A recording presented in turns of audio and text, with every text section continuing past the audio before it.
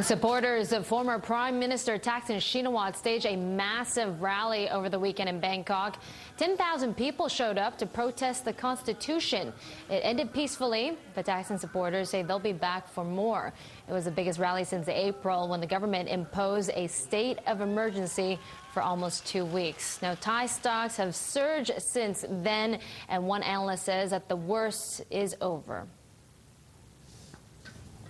Now let's uh, go to Dan Ten Kate, a reporter standing by in Bangkok. And uh, Dan, we saw the protests over the uh, weekend. There could be some developments in, in terms of uh, discussions with the prime minister. Well, we're uh, hearing today that the Prime Minister might invite one of the key red shirt leaders to interview him on his weekly talk show, which is broadcast across the, the country. So that might be a, um, a, a, way the government's reaching out, trying to start a dialogue with the protesters. Um, it's not confirmed whether uh, the red shirts will accept this offer. Um, they're definitely trying to put more pressure on the government uh, through the rally uh, last weekend, and, and they have about three more rallies planned, trying to build momentum uh, to eventually kick this government out again. Yeah, well, we haven't seen much reaction on the stock markets to these uh, protests. In fact, uh, Thai stocks the, have had their best uh, quarter in the second quarter in a decade. It's uh, even outperformed Japan and Australia. What's the uh, outlook on stocks when you talk to analysts and market watchers?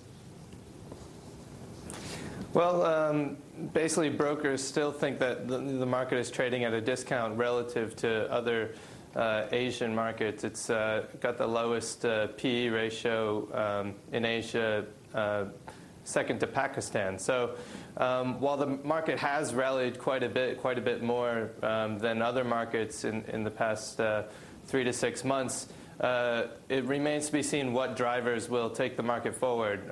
While last year the, protest and the global financial crisis might have brought down the markets a little too far, so this rally now is sort of compensating for that, but we're still about 20, 25% uh, below where we were at this point uh, last year. So, so moving forward, um, many people think um, you know there's not too much more room to go up.